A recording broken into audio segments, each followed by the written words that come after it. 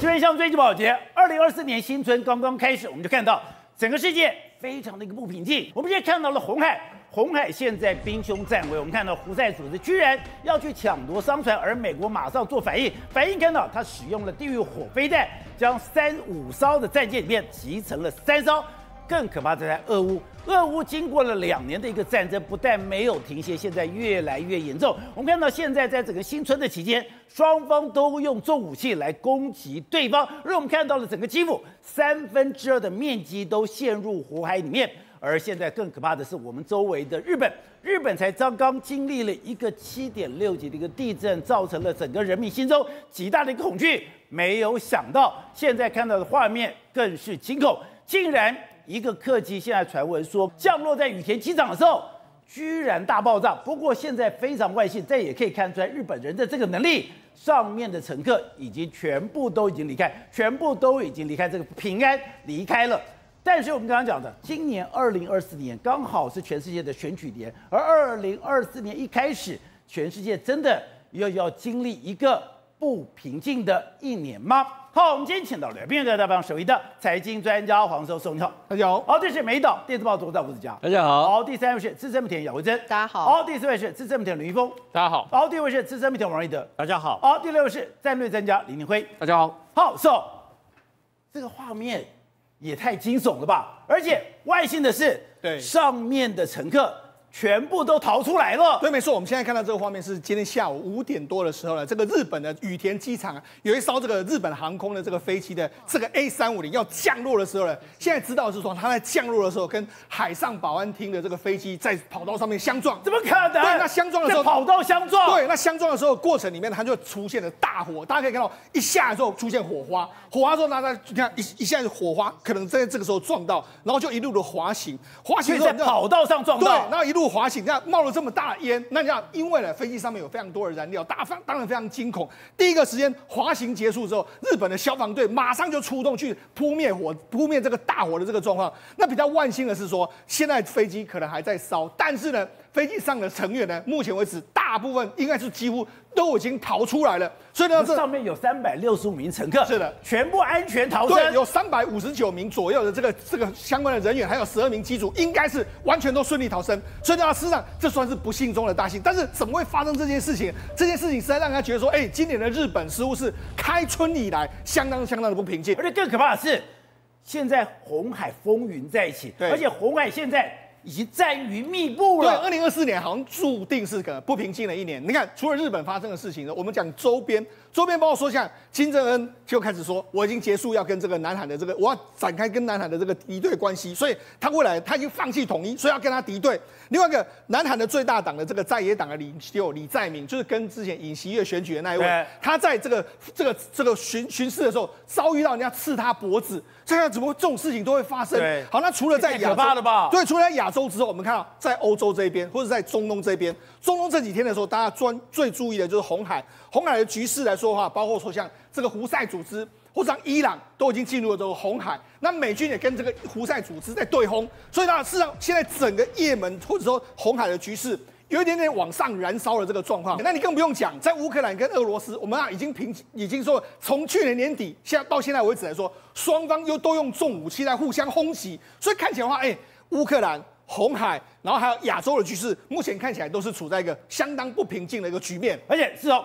院长，你们现在我这个熟悉国际经济、国际政治的，是全部都已经关注在红海上面了。对，没错。实际上，在这几天的时间里面来说，那种所谓货运的相关的这个报价全部大涨。为什么全部大涨？你可以看到，在从这个约莫在十一月底，从十一月二十三号、十九号，然后一直到十二月初的时候，其实当时的很多这个，因为很多船都会经过这个地，这个所谓红海，因为要经过苏伊士运河，不论是说到欧洲或是到亚洲，都要经过这个地方。就胡塞组织就说，我。因为我我要这个国际上面好像没有人在声讨声讨以色列，所以我要在这个地方我要拦截以色列相关的这个船只。所以你看，事实上从这个这个十一月二十号开始的时候，你可以看到很多画面，就是他们开始胡塞组织呢开始去拦截以色列的船只，甚至他们还登上这个这个所谓船只上面，然后挟持人，然后把这个船呢挟持到这个湖这个他们的港口去。你看到事实上从十一月底就开始有这样的情形。这张照片是是那个直升机。是胡塞组织的，没错胡塞组织居然跑到一个叫“银河领袖号”的货船上，对直接降落，是直接挟持。对，那降落之后，你看登登上这个甲板之后，然后开始开枪，然后开始进入这个进入这个所谓的驾驶室，然后把所有人员赶走之后就，这个持枪是胡塞组，织的，然后后来，然后就说，哎，命令你不要到你们的这个地方去，回到我们这个也门也门的港口。然后回到也门的港口下来的时候呢，他还要求这些人，你给我踩过以色列跟这个美国的这个国企。你看，这就这样。所以呢，事实上之前就已经发生过这件事。那发生过这件事的时候，很多人就说，那我们就不要走这个走走这个红海，不要走红海就没想到最近一段时间里面来说，马士基他说：“哎、没办法，我们现在绕一大圈的时候，而且费用来说增加太多，因为你如果从好望角绕的话，至少要增加二十几天的航程。他说没办法，我们客户现在要求要快速，虽然就马士基的这个航运呢，这艘这个所谓杭州号呢，还它是走红海。对，他还是走红海。他从这个地方从新加坡进来之后呢，然后就开始做进入这个也门的这个荷台港之后，就进入红海。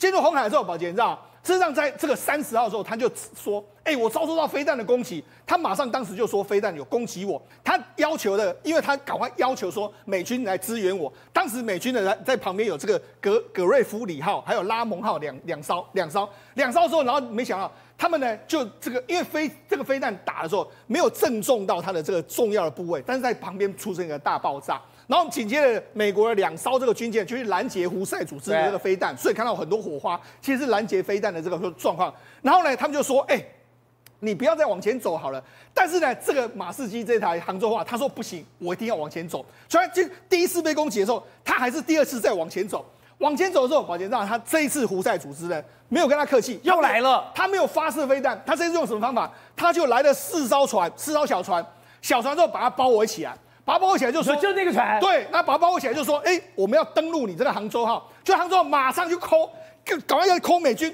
美军这时候航空母舰的艾森豪号刚好就在这附近，那艾森豪号马上就派出什么直升机出动，然后马上还美军还有另外一艘船就马上对他们开火，所以你现在看到是他用这个所谓的直升，不是这个直升机用地狱火，对刚刚是在船上直接用呃炮呃机关枪打的，有一艘这个驱逐舰叫格格哎格雷利夫号在这个旁边，然后另外一个就是他们还出动这个飞机用地狱火飞弹去打它。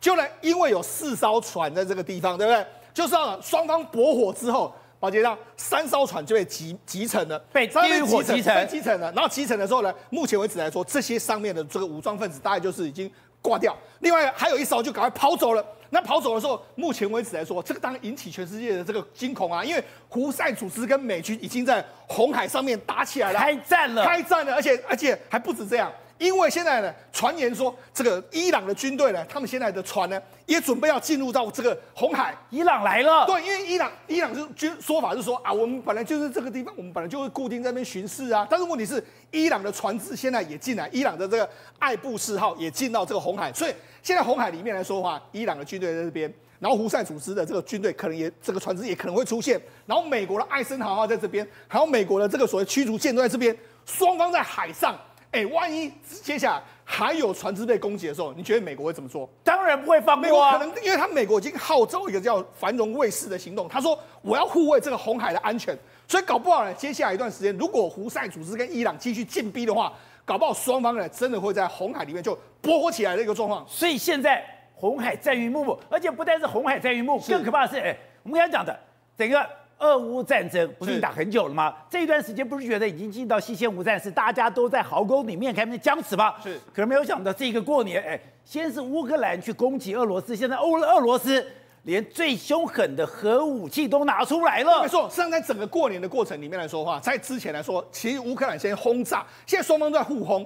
为什么？因为现在这个地面作战来说，其实僵这个有限僵持住僵持了但是呢，他们双方有重武器，就飞弹互轰。你知道，在这个年这个约莫是去年十二月二十九号的时候，先是乌克兰轰。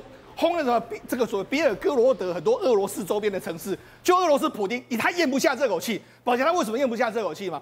今年三月中，在今年的三月中，他要选举啊，要改选，要选举说，哎，结果你给我搞到下引住，于是怎么样？他出动了开战，可以说俄乌开战以来最大规模的互轰，他一共发射了一百二十二门呃一百二十二枚的飞弹，他打了什么？打了利利沃夫啦，然后基辅啦，然后哈尔科夫啦，然后别别尔江斯克啦、奥德萨一大堆城市，他全部这个地这个全打。全部都打，扎波罗的很多地方都打，打了之后，你看俄罗斯出动，你看图二二的这个飞机啦，然后米格三十一啦，图九五的这个飞机，图九五都来了，不断不断的轰炸，然后出动这个无人机，然后这个南边也出动这个这个苏三十五的飞机，所以等于是说多管多管轰炸你。那同时间我把萨姆三百、萨姆四摆在这个地方，你来的时候我就打你，你你要轰炸我，我就拦截你的飞弹。对，所以双方呢。炮轰的炮轰连连，那你知道他们俄罗斯在说什么？哎，我在我知道你在这个所谓的这个哈尔科夫这个地方，有一个叫哈尔康科夫的哈尔科夫宫这个地方，我们打到这个地方，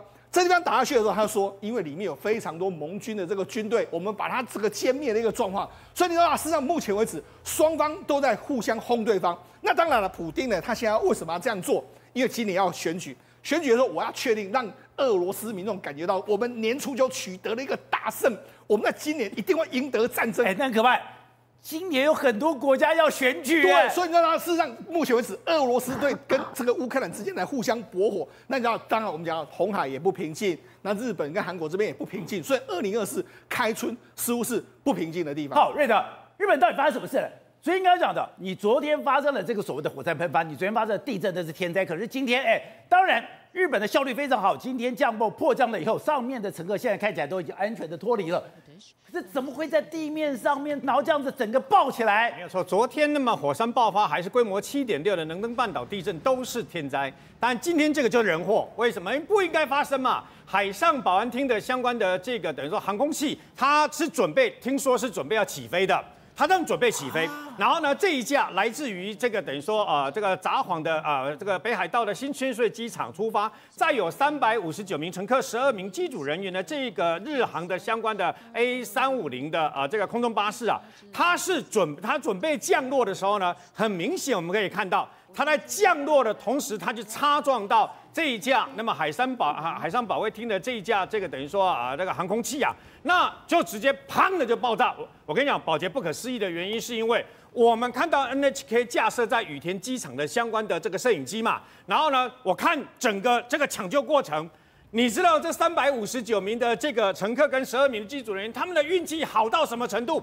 他不是已经先爆炸了吗？爆炸以后起火吗？那为什么他们还有时间可以这样从这个啊这个迫降的滑梯，就是紧急的安全滑梯这样子全速的逃离？你知道为什么吗？因为它起火的地点就在它的相关的这个相关引擎的下方，它再高一点，你知道机翼是什么？机翼是油箱，对。如果是直接机翼，那整个引爆的话，我跟你讲，我们在被吸瓜嘴狼。那么，包括十二名机组人员跟三百五十九名的相关的那个相关的乘客，不知道会死多少人。那么，因为他在擦撞那一刹那爆炸。爆炸那个比较严重的应该是海上保安啊保安厅哦，就我们看到那个整个爆炸，对不对？它大概已经凶多吉少了，因为从爆炸这个那个起火这么严重，这架飞机它那么这个引擎的引擎的部分下面起火了以后，它缓慢滑行停下来，然后呢赶快打开机舱门了以后，赶快那个逃生滑梯放下来了以后，事实上它的火是缓慢的从引擎下方往上烧。所以呢，整个过程我紧急，哦，我看了整个那个，叫整个整个整那个那个扑灭的过程啊，到后来消防消防他们消防厅的相关的这个等于说啊，消防车赶到了以后，扑灭整个起火是慢慢慢慢慢慢的从外往里面烧。它如果一开始就是烧这个啊记忆旁边的油箱，整个就爆炸，全部爆炸。我跟你讲，那个在惨惨到不可思议的一个地步啊，所以这可以解释为什么他们有那个时间可以这样逃离。不过这一定是人祸，为什么呢？因为没有。几乎没有看过这样在下来的时候呢，几乎就会发生这种事情的。我告诉你，两千年的时候，那时候是我在采访消消防署象神台风的时候，象神象神台风的时候，在我们桃园中正机场还记得吗？因为台风风强宇宙，结果一个塔台联系没有联系好，新加坡航空要起飞要去美国，结果呢，就因为这样路路错跑道。整个起飞的过程当中，把在地上跑道的维修跑道的那个相关的工具车直接砰的撞上去，飞机翻覆断成三截，包括四名机组人员在内呢，总共有八十三个人就在桃园机场，就在那个地方，因为这样而遇难。这个就是哎，刚刚这个就是安全梯，然后就这样子一个一个跑跑出来了。对，没有错。事实上呢，因为它是。火并不是在几秒钟之内整个爆炸起火的，所以他们还有时间逃。也就是说，因为这个火从下面往上烧的过程当中，最后把整个飞机里面呢全部都烧光。那消防车来了以后呢，虽然有呃喷水啊，但是还是抢救了一段时间以后，才把整个火势扑灭。但已经整个 A 三五零已经烧成一个骨架。全部变成黑色的骨架了，但是就真的是运气好，像像我们现在看到那样子，然后由外呃由下往上烧，由里往外烧啊，最后虽然整架飞机付之一炬，但是争取了让他们可以逃生的机会。好，玉鹏是该讲的，昨天那个大地震，七点六级的大地震，这样的居然让轮岛市偏移了一点三公尺，哎，那个地多大？对，这个地多大可以移到一点三公尺？对，然后另外讲的。这个伤亡已经四十八个人死亡，两百多栋建筑物毁掉了。对，现在来讲的话，其实整个地震对他们造成很大很大的一个伤害啊。在轮岛市这边，这是一个七层楼的建筑物，直接应声倒塌。然后呢，现在来说的话，很多的地方北路有四线，在这个金泽市，这个照片照过来，大家都吓坏了。原本呢是在神社要祈求新年健康的、新年平安的，竟然一阵天摇地动。然后其实那地方还算空旷哦，大家吓到马上就全部蹲下来了。那最可怕的地方还是在哪里？在轮岛，轮岛这个地方其实它原本是一个平的，哦，它就是个马路。然后呢，这个车子停在那地方，竟然打开了，然后呢放了进去。这个状况是怎么？地裂开来了，地直接掉下去。地，然后呢，这车子直接就掉下去。然后呢，这个东西很多人就想说，到底发生了什么事情？有些人是正在开车，开着开着。路不见了，然后呢，就整个都跑进去。那现在最可怕的一件事是，轮岛那边有一个呃招市通，那等于就是他们的早市，可以去那边观光，然后呢吃海鲜的。整个暗夜大火烧掉了两百多栋的建筑物，这两百多栋的建筑物是全部都不见哦。所以呢，这一天来讲的话，死亡人数到了四十八个人，而且还有很多人现在来讲不知道人在哪里。这个可能还会再继续，还会上升。对，因为你的地震发生之后呢，很多的地方它的通讯是中断的，很多的地方它的交通是中断的。那最可怕的一件事情是说，现在回来看石川轮岛这个地方来监测这个东西是什么？是它的监测值。你看到没有，宝杰哥？它有些竟然是左右横移，跑到非常高的一个距离。所以呢，他们地震完之后呢，竟然监测到有一公尺三十公分，等于是一点五公尺。你。的路被偏移了，对，都已经偏移掉了。所以呢，现在来讲，这一个地震，很多人都讲说，到底还能不能还还不能再多救一些人出来？而且你看到，它也是算是一个复合式灾难，这边有很多的木造的建筑，就发现出现大火。而且这个大火烧很久，对，因为那个地方哦，其实我们刚才讲的那个早市，它的它非常久以前就有了，所以呢，它整个市场来讲都是在卖海鲜。他们很多他们的店铺从以前就流传到现在，他们都是木造的房子，所以他们很多东西它是联动、联动、联动，也没有好好的把这个消防设施给做好。所以当烧起来之后，这个早市烧下去之后呢，是火是灭不了的，因为你前面在救火，后面又一步连烧过来，所以呢是整个就已经。铺天灭地，整个就把它全部烧完了。然后呢，我们刚才讲到的这个东西是车子卡在马路上面。现在来说的话，其实他们除了马路上面有这个地给裂开的话，最可怕的是能登的机场。这个机场的跑道其实都是用最高规格来做的，但是呢，能登机场的跑道裂开来了，而且高达十公尺这么长，所以就可以知道说呢，其实这地震的威力是非常的大，几乎没有一个地方可以幸免。所以这个地震比我们想象更可怕。对，然后呢，其实很多的台湾民众都会去那个地方做什么？去看一个无敌铁金刚。无敌铁金刚它的作者其实就是当地人，所以呢，在二零零一九年的时候做了一个他的一个纪念馆，很多人都会去那个纪念馆来看。那现在来讲，这个纪念馆到底有没有遭受到波及？消息还没出来，可是呢，大家就很担心说，会不会也是让它造成一个很大的一个影响？而且你很难想象，像在日本这么进步的国家，碰到了七点六的一个地震之后。它居然有些地方这就变成孤岛了，对，甚至很多的医院居然被断水断电了。对，这个地方哦，北路四线里面，这个地方是在金泽，金泽很多人在讲说，哎，那个地方也算是比较进步的地方。可是呢，一地震一发生之后呢，大家讯息进不进进不去，也出不来，那怎么办呢？他们在这个地方就用这个椅子排出一个什么 SOS，然后他们也没有慌张哦，他们就是这个地方，他们就等着，然后呢，他们知道说呢。等到搜救的过程，其他地方搜救完之后呢，总会轮到他们。他们就这样子静静的，然后把椅子排出来，在一个停车场拿等待来救援。你说就放在停车场，对，用椅子排一个 SOS，对。他们就想说，反正你们迟早会救援到我们，但是因为现在来讲，你要地震一发生，你第一时间很多讯息都没有办法出来，然后最神奇的事情是，他们也缺水，也缺电。以整个北岛四县来讲，他们现在有五万个人，五万个人是要到避难所去的，所以呢，他没有水，没有电，只能叫什么用这个运水车过来。但是日本人的民族性真的很强，在那种情况之下，五万个人居无定所，然后呢，没有人在争先恐后排队对。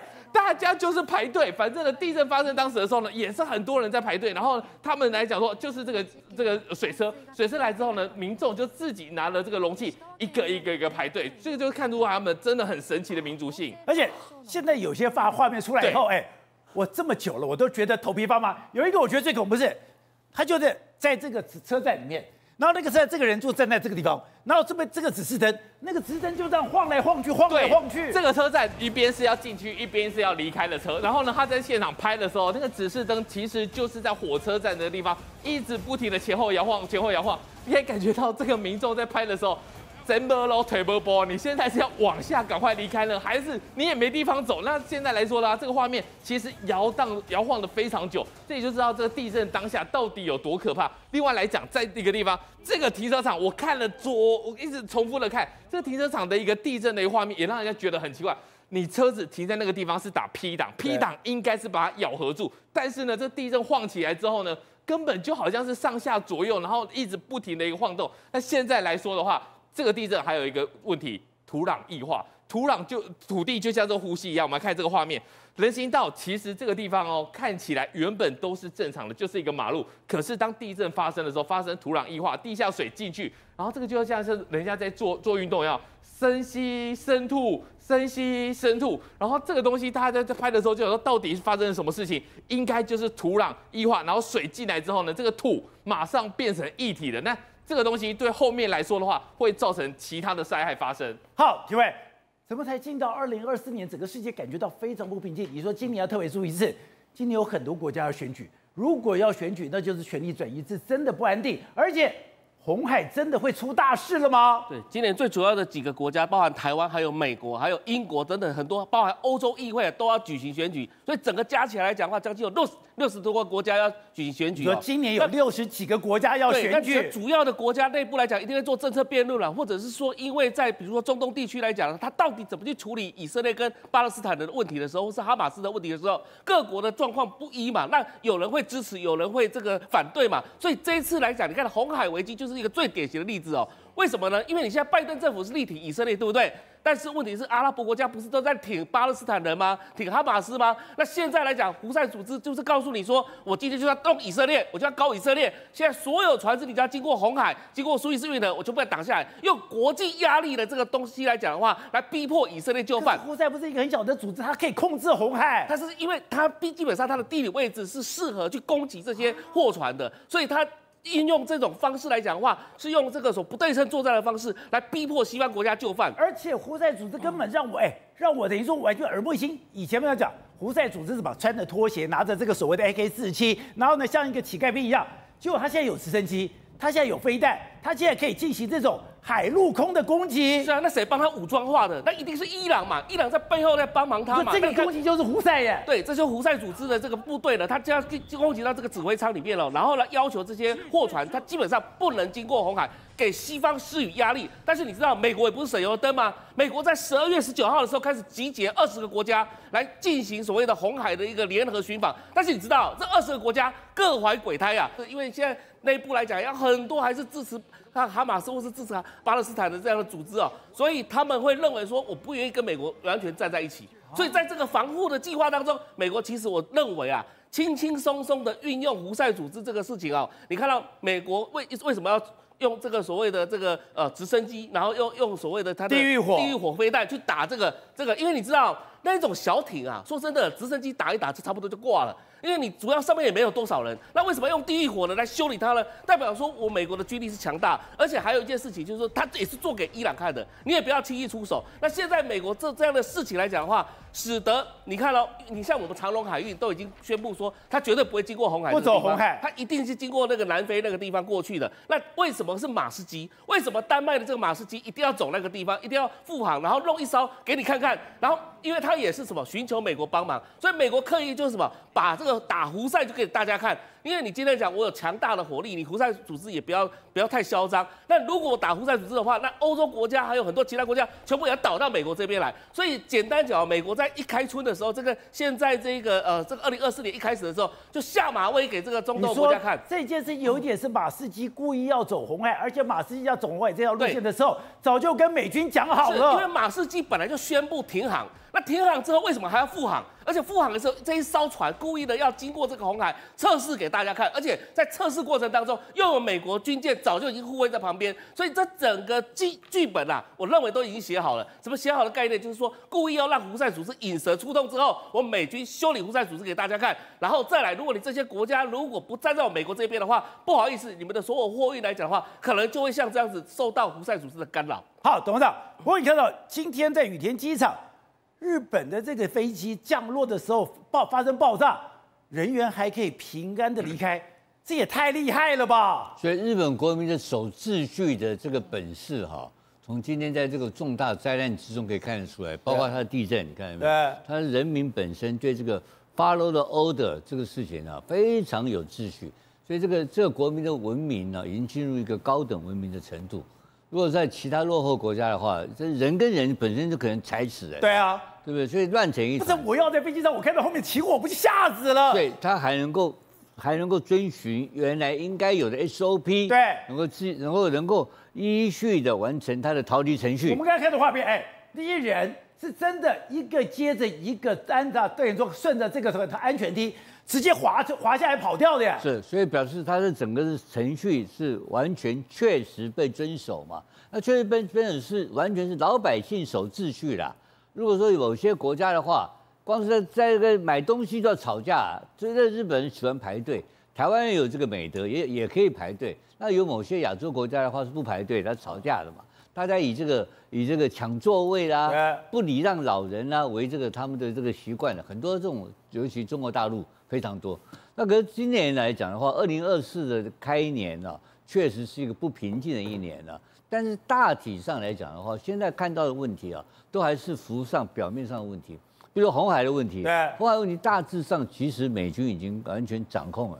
美军掌握红海了，他掌握他整个中东的形势完全掌握了啊。他掌握来讲的话，可是你要知道，双方这个所谓的猫跟老鼠的游戏啊，它不能停止啊。他停止的话，后面的伊朗就不给你钱啊，军火也不给你了。对，总要有一些小兄弟去闹一闹嘛。那你闹闹一次、闹两次，他能欺负谁呢？他欺负弱势的嘛，欺负商船嘛。对，Mask Line 是个丹麦公司啊，可是这艘船叫做杭州号，它的、它的、它的这个，它是涉及在新加坡，是挂新加坡的权益旗。那这个船要这样子这种走法。是不是有其他的策略在里面？当然是有的。哪有一个哪有一个商船主会胡说八道，会糊里糊涂的跑来跟你去打仗？对，他一定是跟美国的军方讲好的的默契。而默契，而你看到没有？他在紧急呼唤的情况之下，马上就派出部队，立刻就发动攻击。对，那根本就完全都是早就是有一个标准程序就作业了嘛。而打的这几个胡塞组织就是。跑就开始，它就溃散，四招集成三招溃散，就这样子。所以呢，这个事情在哪里？它是一个高，就是强制的火力压制的效果。那至于它会不会反击？当然不会啊，它又不就是骚扰而已啊。但整个以色列目前的情况之下，在美国跟以色列跟欧盟的合作情况之下，其实控制住啊，它不至于扩散呐。但是扩散理由很简单，你看石油价格嘛，它是稳定，它把石油的价格跟整个区域的经济。搞得非常稳定，这个很重要一个概念。可是这个时候你要看的是另外一个国家，是俄乌嘛？你看到没有？现在目前来讲的话，美国因为面临到选举，所以他的共和党所控制的众议会，对，来强力背戈援乌的预算。到现在为止，乌克兰现在很非常凄惨的，就面临到即将溃败的结果。那这个普京敢大大在这个时机点大辣辣的大规模攻击选选举。我连任，对不对？我继续当皇帝，他的权力最重要。这个打仗是另外，打仗是为了保护他的权力基础嘛，呃，还是为了权力斗争嘛。这时候他发动总攻击了嘛？总攻击，你看这种这这几个重要的据点，包括他的首都基辅，巴尔科夫这种重要过去不可能被攻击的据点，通通遭受到大量的攻击了吧？而且冬天不是好现象。而在这种情况之下，如果美军的后援没有到的话，我觉得乌克兰呢会非常的辛苦，而且非常危险。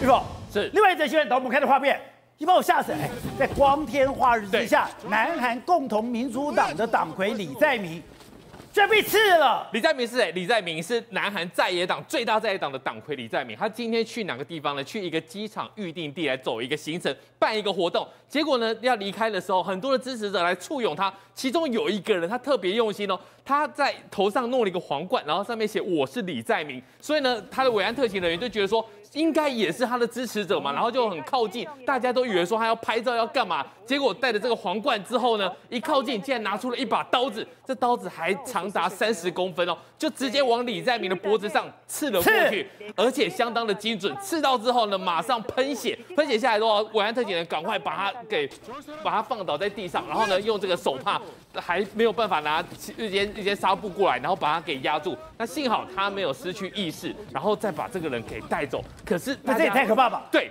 他只要再再几公分，这差距就没了。不用几公分，他只要再往旁边一点，如果他刺到了不是皮肉伤，而是动脉的话，大概现场可能就会有遗憾的事情发生。这个是在南韩，南韩已经在这件事情之后呢，有很多检讨的声音。对可是，在台湾。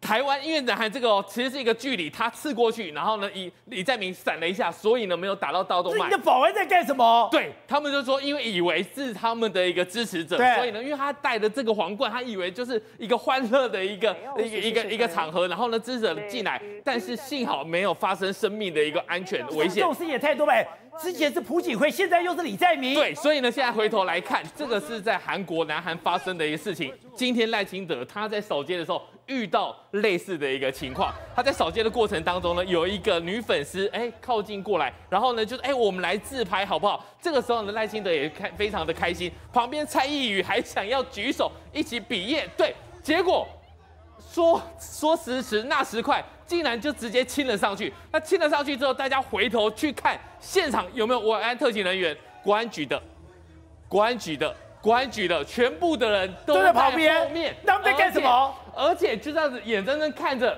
赖副总统被亲，可以这样子吗？当然不可以啊，不可以因为这个女粉丝真的是太专业了，大家注意看这个画面哦，她用手给摸啊，不是拉过来那，个特勤发生不对的时候，被呼啊！来不及了，因为这个状况其实哈，以他们国安局的维护呃特勤维安来讲的话，你有粉丝要拍照，那这是一个两难的问题，但是他们要有一个 stand by 的一个动作，你拍完照之后有状况，你要马上介入。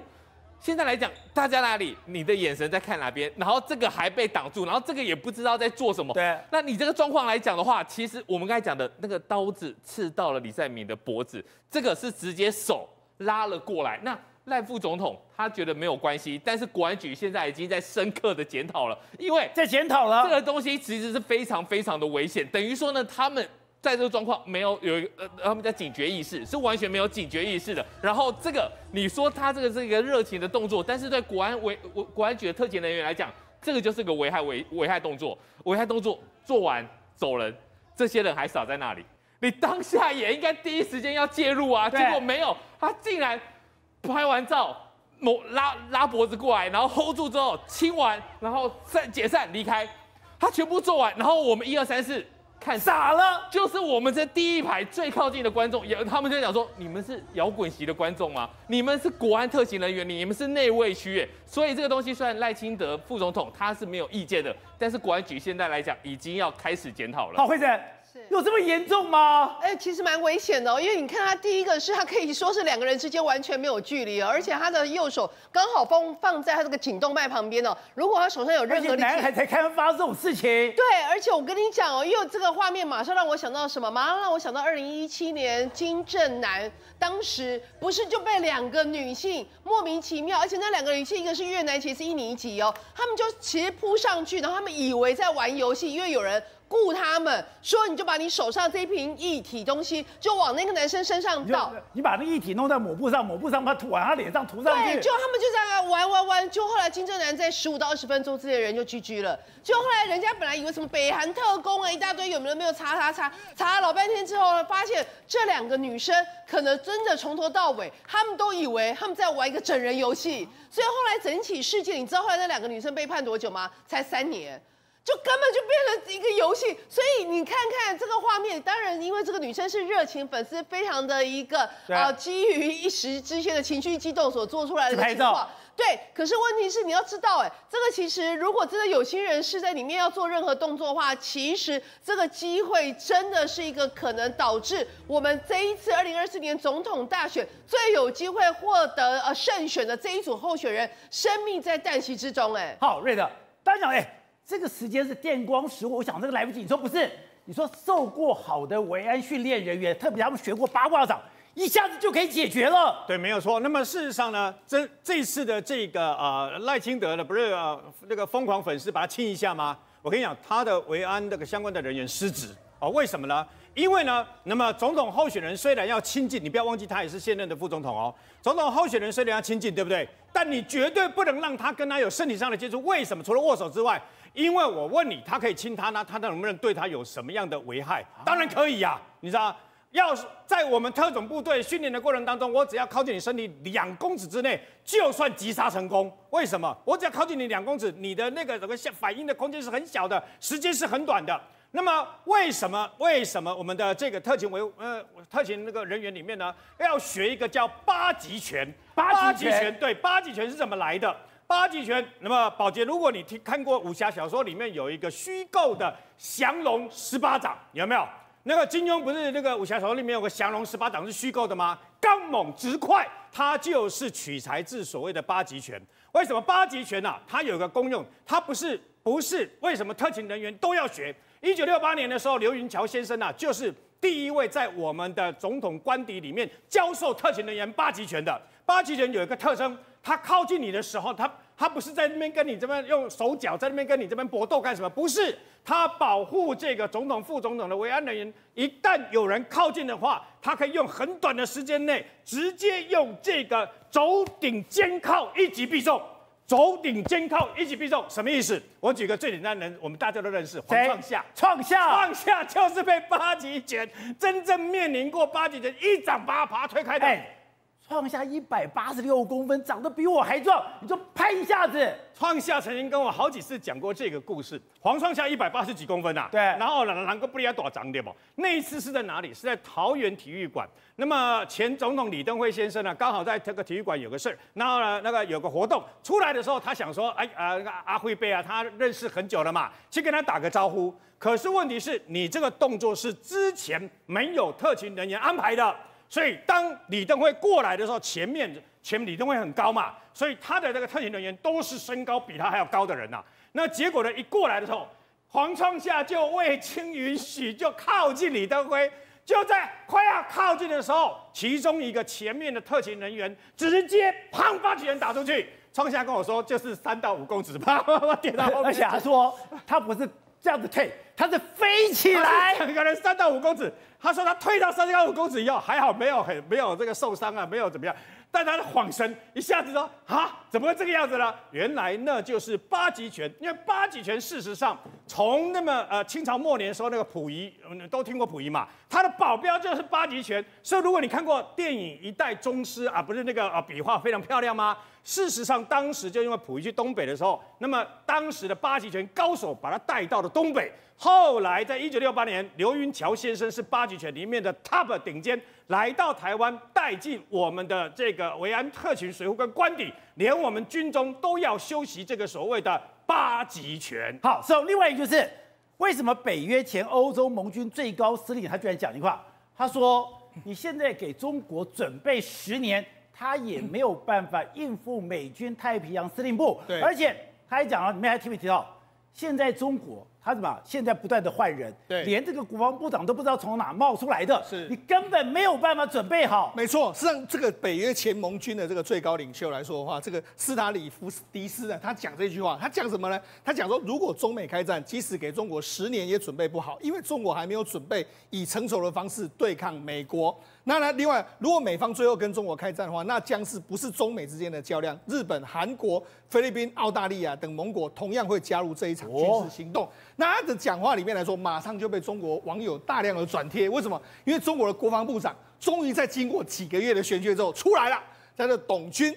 董军是原本的出任海军的这个，原本是海军的这个司令员，他现在出任中国新任的国防部部长。所以中国好不容易他悬缺已久的国防部长，对我补实了，对我升上了一个海军上来的董军，结果这个董军刚刚上来，美军就跟你呛虾，对给你十年也不够。对，那为什么美国会这样讲呢？因为说真的，如果他如果你看到这个中中国最近的军方的人事异动，你大家也觉得这个国家真的能打仗吗？宝洁就在十二月二十九号的时候，中国的这个人大人大常委会的时候有一个公告，免除了九位的这个人大代表。这九位里面来说啊，宝洁啊，丁来航。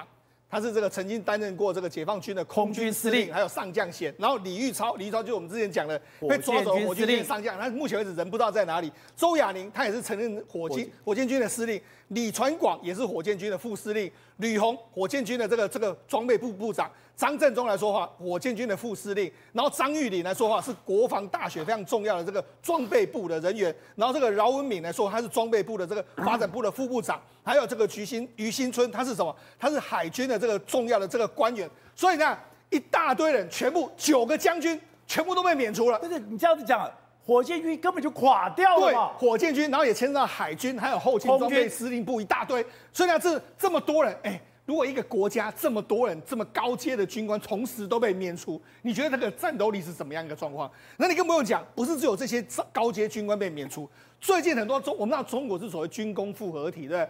军工复合体里面，它有非常多的这个民营企业，看似民营企业其实是军工一起的。你看，比如说最近还有什么中国航天科技集团董事长吴彦生，他也被免除了；中国兵器工兵呃兵兵器工业集团的董事长刘石泉被免除了，对然后中国航天科技集团的副总经理王长青被免除职位。哎，这几个要么就是帮中国做这个重要的武器的，要么就是做重要相关的航天系统的，全部都去去职。所以不是只有军险哎、连这个合作开发军工的产业的全部都倒了。那你更不用讲，还有一个什么胡问明，这个中国船舶重工的这个前董事长来说，他最近被审判了。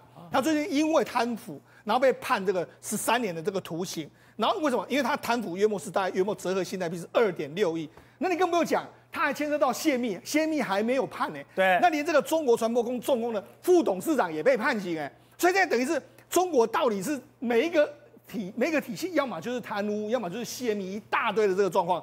那你知道这胡文敏他泄密什么？他泄密很严重，因为他是山东号的研发的这个总指挥，山东号对，然后还有包括辽宁舰，它也是这个装列工程，歼十，还有 C 九幺九，对胡文敏都是重要人物啊，就他涉嫌泄密，所以那是哎，中国不是只有这些火箭军在泄密，这些重要的官员、最重要的这个航天集团什么也都在泄密都在泄密。所以呢，为什么这个美国的这个盟这个北约盟军的前最高司令他会说你根本就不是对手嘛？因为我们现在给你十年准备，你也准备不好嘛？因为你里面的捞贪污腐败啦、泄密的一大堆的这个状况。好，所以董事长，中国国防部长董军凯刚刚就职，结果美国前司令就在讲，你给中美开战，给你十年准备不好。现在有人讲，你现在这些高阶将领现在也被清算的太快了吧？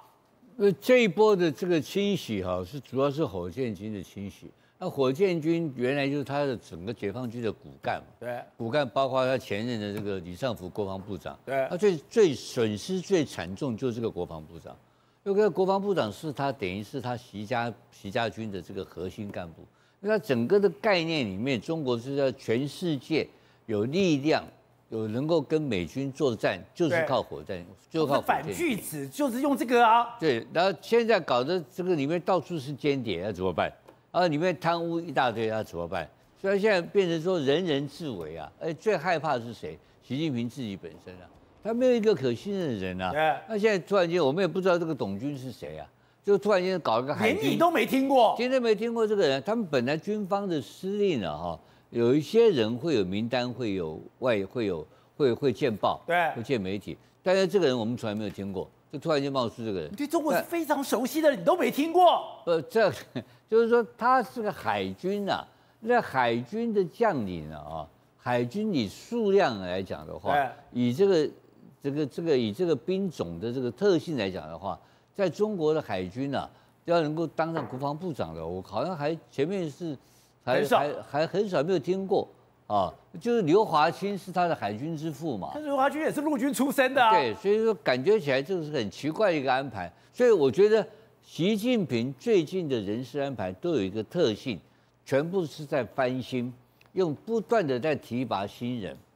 但这句话怎么讲呢？他对老人不信任啊，包括他的不是说军方而已哦，包括他过去的所谓的浙浙江新军，对，包括他的福建的一些福建的老干部，是他两两个来源嘛，一个是福建嘛，一个是浙江嘛。浙江他这两个人，他通通你看到最近就开始慢慢的淡出的味道了嘛，都不太用了，都用一些新的，都是要学界出身的啦，或是产业界出身的啦。像最近这个新疆省委书记，他就是新的，这原来是兵工系统出来的一个学者专家，啊，然后最近这个人要调去接这个接他的这个这个接他的大秘嘛，对，啊，到他的这个到到到中央了嘛哈，所以他这些的动态的情况之下，你就发现说他对人跟人的信任啊产生非常大的危机。没有可信任的人。他对这些目前他的浙江新军跟他的福建用的人开始产生大量的汰换的情况，这是习近平的困难。他现在用到无人可用，然后因为他面临到前所未有的困难呢、经济窘，经济非常困窘啊。但问题这些所谓的过去的老干部完全是旧思维，对根本找不出新方法来解决问题。当然，真正解决问题主要是中美关系，现在也全部都困在这里，所以目前陷入一个人事上的窘境，跟国家发展上的困境。不是，今天是封关民调，今天之后，哎，不能再公布任何民调，所以大家都公布出来了。公布出来看起来还是赖第一，侯第二，基本上柯还是老三，会有变化吗？宝哥，他现在公布出来之后，各家民调它有凸显出一个趋势，也就是蓝绿之间纠缠盘麻花嘛，对不对？但你仔细看到一个现象，我跟各位讲，他现在蓝绿白三党啊，变成像什么？表面张力有没有？林贵旧哦，那个表面张力什么意思？代表拢处较紧绷啊，不管你是国民然后群叫紧绷啊，国民党、民众党、民进党，他各自的支持者都已经紧绷了，八成五、九成不能再多了嘛。但这时候把这个门关上之后，它会产生一个会怎样？因为大家发现说你蓝绿之间差距不大、哎，会开始犹疑，会不动大吗啊？不大、啊，我们看到每一份民调，有的两趴，有的三趴，这个叫什么？误差范围之内。所以谁嗅到这个味道？侯宇嗅到啦，侯宇跑出来跟大家讲一个故事啊，说我是蒋渭水，哎、说同胞需团结。其实他讲的李文本就是说，在最后关头要去集中这个火力嘛，而且他抛柯文哲也发了一个给国民党的一封信啊，，当然两边这个叫做互相抢粉丝，他想说看这个效应能够抵消嘛。但柯文哲的目的跟侯宇大不相同，侯宇做的是什么？哎、你希望能够未来看到柯文哲，对不对？但现在柯文哲很有可能一输，我们就一起沉入海喽。所以你如果要看到他，我邀请他加入政府嘛。但柯文哲打的算盘不一样，柯文哲玩的是说，哎、吹哨壮胆。我现在民调真的第二名，有机会可以超过赖清德，所以国民党支持者快点来投我。但这时候必须要反问一个问题哦：当这个东西走到后来，大家已经没有民调再可以验证哦，柯文哲也没有办法再碰轰哦，选民自然而然在接下来只剩下什么东西？造势场合，只剩下一场一场造势场合，哎，剩下街头民调，那个叫真正的街头民调，哎，所以当国民党在北中南三万、五万、六万、七万一场一场办，国民党气势会不会起来？所以这个效应到时候到最后面，各位玩的其实是最后他只决定在两个关键点，一个叫西瓜票，西瓜票就是我没有任何政党，但我想要去投赢的那边；另外一个叫做什么，就是从蓝白之间会跑票的有多少嘛。所以联合报做的那个民调很清楚，他说不多，移动的不多，大概就是四趴五趴够了啦。为什么？因为现在输赢胜败就是在三趴之内啊，所以两边现在都在正式尝试弃保这个动作嘛。但其实柯文哲他有一个最大的破口跟最大的锚点，他没有忽略掉的。现在国民党蓝白河需不需要柯文哲？其实不需要了。你看到台中，你不觉得那个现象很诡异吗？一个蔡壁如南部的也来，北部的也来，新北也来，新竹也来，为什么？他们等于是把蔡壁如当做是小鸡的分身嘛，当做是未来柯文哲的分身嘛，所以我只要我国民党的立委从立委盘开始跟你蔡壁如站在一起，等于是我就可能完成蓝白合。那我问，如果接下来有一个景象，当侯友谊出现跟蔡壁如合作在一起，而且蔡壁如尊侯，他不用喊出说我支持侯友谊，他把侯友谊当母鸡就好了。而那个时候会产生什么跟氛围是什么效应？所以现在最后关头在玩的只有一件事情，就是国民党跟民众党谁能够成为弃保的共主，谁就可能夺下天下。